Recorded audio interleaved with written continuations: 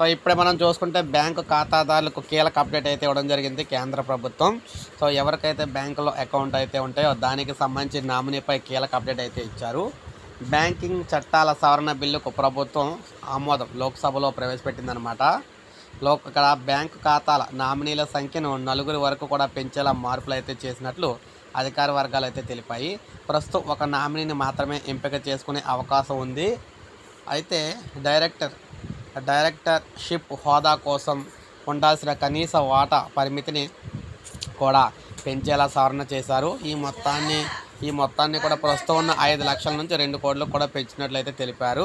ప్రస్తుతం అంటే ఇప్పుడున్న పరిమితి ఆరు దశాబ్దాల క్రితం నిర్దేశించిందనమాట ఈ బిల్లును కేంద్ర ఆర్థిక మంత్రి నిర్మలా సీతారామన్ గారు అయితే లోక్సభలో ప్రవేశపెట్టడం అయితే జరిగింది. సహకార బ్యాంకులకు సంబంధించి కూడా కస్టమర్లకు బ్యాంకింగ్ చట్టాలను అనుసరించి బిల్లులో కీలక మార్పులు అయితే తీసుకొచ్చారు.